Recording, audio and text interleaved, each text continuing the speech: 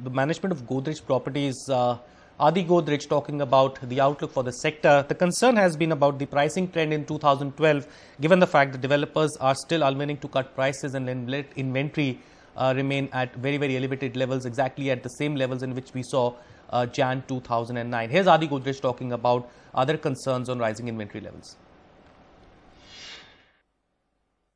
No, I wouldn't say absorption levels have been negligible. I think uh, all over the country sales are still going on. Uh, I wouldn't know exactly about one particular market. If you look at the mortgage companies also like HDFC, they have had good growth. Uh, in our case, our sales growth in the first half of this year has been 80% over the corresponding period of the previous year. Uh, so generally speaking, there is a little bit of a slowdown, mainly because of the high interest rates and mortgage costs. But I think now, having passed the season where people try and avoid buying new, uh, new property, and we are into the season where people like to buy new property, I expect things will pick up even faster.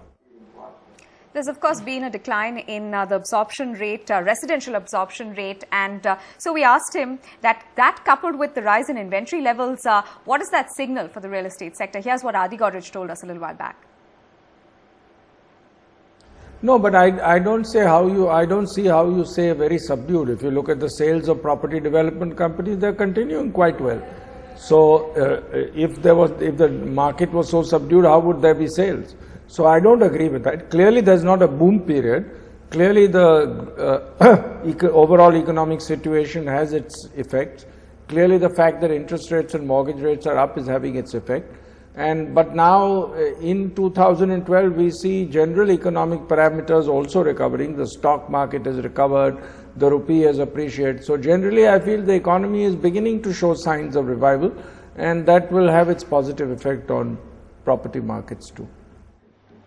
The biggest concern has been the tighter interest rate cycle, but the important question is do we see the fortunes of the sector changing if interest rates starts to come down from here? Oh, absolutely. Because once the interest cycle changes, the Indian economy will revive very strongly and also mortgage rates will come down, which will encourage people to buy more and more. So I expect in the next three to six months, there will be a very strong revival in property demand. Everyone's been talking about uh, the retail space and so opening up FDI into a uh, multi-brand retail, uh, single brand retail. We've uh, asked Adi Godrej whether or not he expects that real estate rentals will go up, commercial real estate space. Is that going to see a lot more demand then? Yes, what he told us.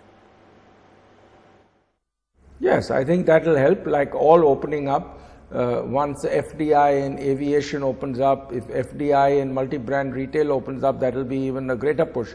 Any opening up of FDI will certainly lead to more investment into the country, which will lead to overall better demand and better economic growth. NDTV's cricket app, Android and iPhone, fastest scorecard, special analysis, and much more. Download free ndtv.com slash apps.